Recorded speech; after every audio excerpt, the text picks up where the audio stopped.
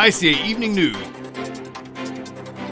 with anchor Shawn McAninch, sports Cassie Kramer, weather Dr. Ehren Stoverwright, your reporter in the field Casperian Kittredge, and your co-anchor KarLee Kearns.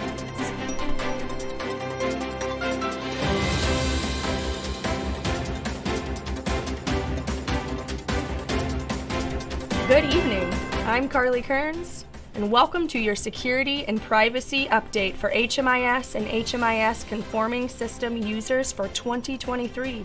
We've got a lot of information to cover. Isn't that right, Shawn? You are correct, KarLee. I'm Shawn McAninch, and thank you for tuning in. In tonight's broadcast, we'll be covering the most common security and privacy concerns regarding inputting clients into an HMIS or HMIS like system. This information is being brought to you by the good people at the Institute for Community Alliances. This presentation will provide an overview of the following topics New user training changes, user requirements, agency requirements, security concerns, and more. There's a new group of young people making big decisions in Des Moines. That's right, Shawn. Let's go to Kasper Kittredge live at the Institute for Community Alliances and find out more. Thank you, KarLee. It's even more than just Des Moines. In both the Des Moines and the Balance of State COCs, there are groups of youth who have experienced homelessness or who are passionate about ending youth homelessness who are working uh, together to do just that. These are groups that are made up of youth who are usually between the ages of 16 and 24, although sometimes they can be a little bit older. And in both the Polk County Continuum of Care and the Balance of State COC, they are compensated for their time and the work that they do to educate others about what being a youth experiencing homelessness is like, as well as what can be done to help end youth homelessness. If you want any additional information about these groups, please contact the respective COC directors. Back to you. And now a very special report from ICA Director Gary Wickering.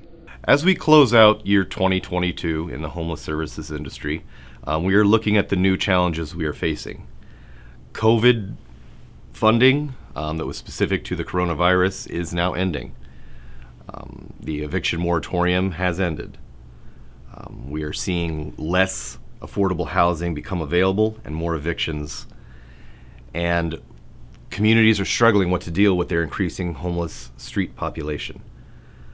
Um, the criminalization of homelessness is a serious threat and one that must be dealt with. Housing is a human right. And what we can do here is produce the numbers that show the need that's facing those at the most risk in our society. The HMIS Notice of Data Collection sign will be posted at any client intake location. Your agency has a written privacy policy with allowable uses and disclosures of protected personal information. It will be made available to the client upon request.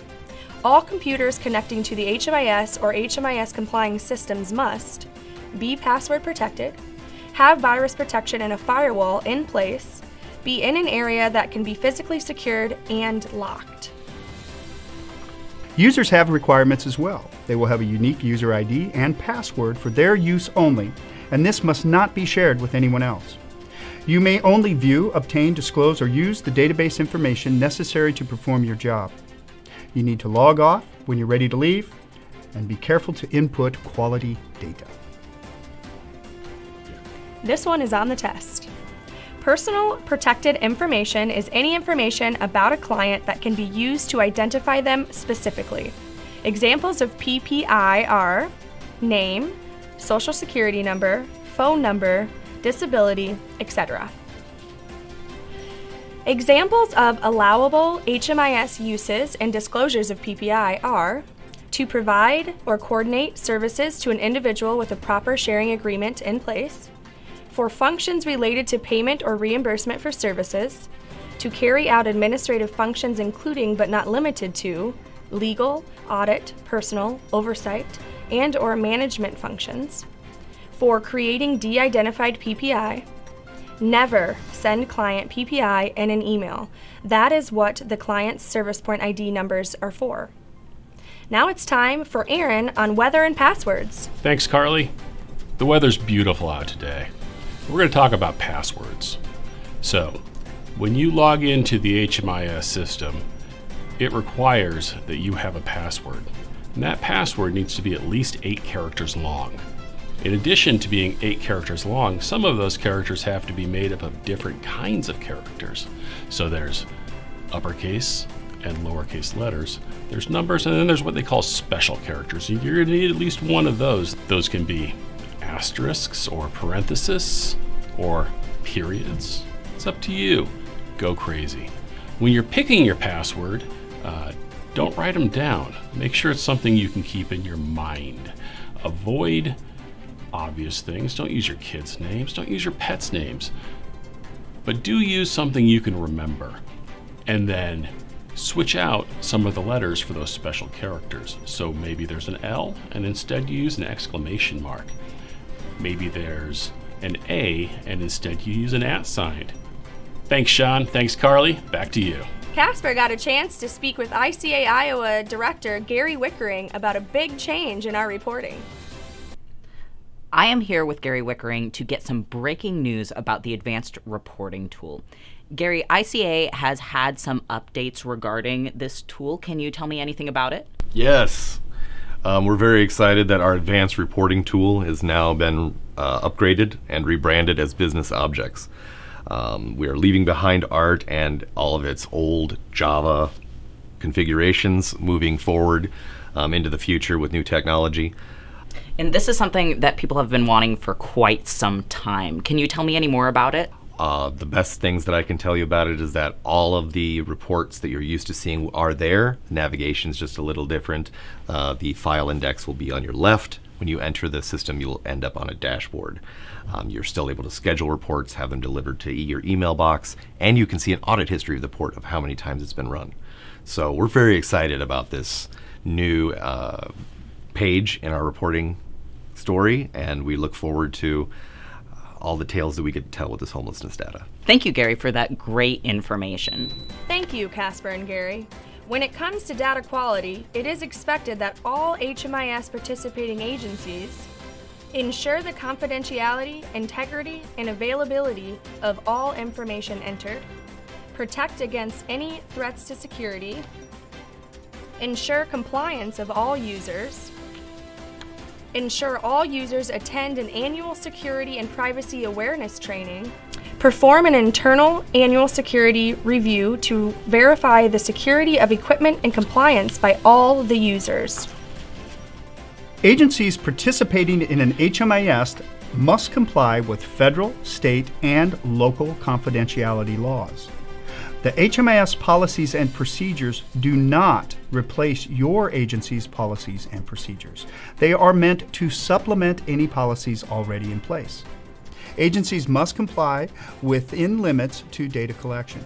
Collecting data from clients to enter into HMIS must be relevant, appropriate, and lawful. Agencies must post the consumer notice at the intake or comparable location with general reasons for data collection and reference to the privacy policy. Agencies may infer consent for users in the posted consumer notice and written privacy policy. That is a lot. Mm. That is so much. Let's check in with sports.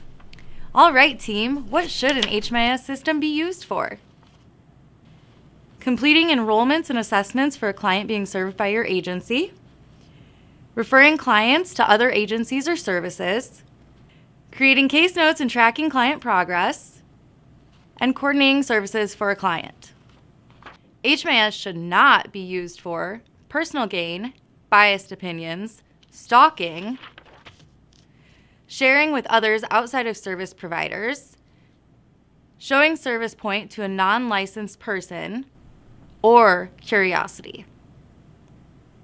Additionally, Things that are not allowed include staff having clients sign blank releases of information to be used at a later date, the use of general releases, which is not allowed by state and federal law, staff disclosing client information to third parties without client authorization, staff discussion within professional settings, such as informal case discussions that occur on site where others who do not need to know are present.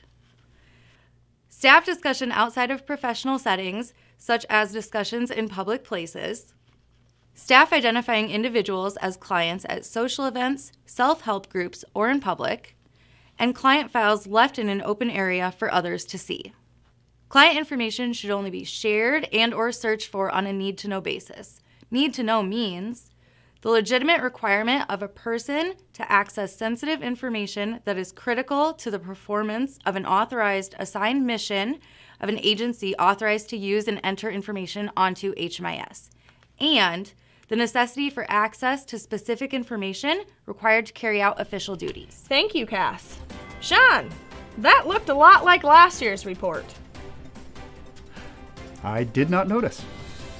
Now it's time to talk about our tracking policy. The system provides a tracking log of when users sign in, as well as when they have touched a record within the system. This ensures personal accountability regarding what is done within the system.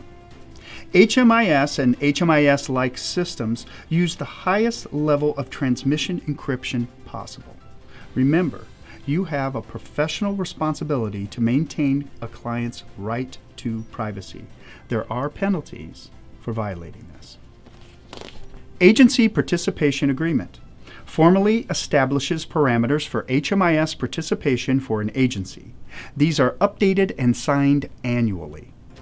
HMIS User Agreement formally establishes parameters for HMIS participation by an end user. These are signed and submitted directly to ICA. The consumer notice notifies clients about an agency's privacy practice and how the agency can use and disclose PPI. The consumer notice must be posted somewhere visible to clients completing an intake within the agency. Interagency Data Sharing Agreement formally establishes parameters for uses and disclosures of client data that are electronically shared between agencies for the benefit of the client. All staff within an agency using HMIS must have read and understood the consumer notice. A verbal explanation of the consumer notice includes what is HMIS? Why does the agency use it? Security issues, privacy protection, benefits, and risks for clients. The staff provides the consumer notice to the client and explains it. Organizations must have an assigned privacy officer responsible for ensuring agency compliance with the policy and procedures. HMIS data standards. They are the data standards established by HUD as a means to ensure that every HMIS captures the information necessary to fulfill HUD reporting requirements while protecting the privacy and informational security of all individuals who are experiencing homelessness or near homelessness. The data quality standards ensure the completeness, accuracy, and consistency of the data in the HMIS. The agency and licensed users are responsible for the quality of the data produced. Back to KarLee. HMIS participating agencies agree to ensure the accuracy of information entered into the system. They also agree that any updates in information, errors, or inaccuracies that come to the attention of the participating agency will be corrected by that agency. The three components to maintaining data quality are a review of timeliness, completeness, and accuracy. Well, that's it for this year's security and privacy training. I'm KarLee Kearns, and thank you for tuning in. And I'm Shawn McAninch. Stay classy, HMIS users.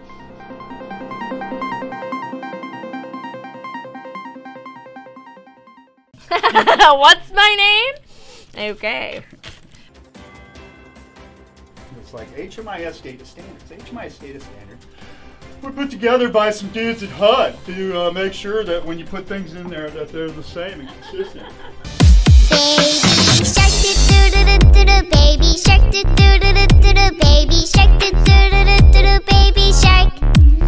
Baby shark. Do do do do do do, mommy shark. Do do do do do do, mommy shark. Do do do do do do, mommy. Daddy shark, do do do do do. Daddy shark, do. Aye, aye, Captain. I, can't hear you. Aye, aye, Captain. Oh. Who lives in a pineapple under the sea? SpongeBob SquarePants. Absorbent and yellow and squishy as he. SpongeBob SquarePants. You flop on the floor and flop on the floor. It's nautical nonsense. It's something you wish. SpongeBob SquarePants. They flop on the fl- they slip on the floor and flop like a fish. SpongeBob SquarePants. SpongeBob SquarePants. oh, SpongeBob.